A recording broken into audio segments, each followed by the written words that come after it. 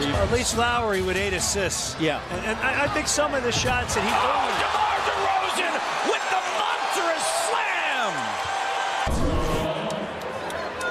slam. Look at this vicious dunk. And that's an ISO play on the right side, and he takes it with reckless.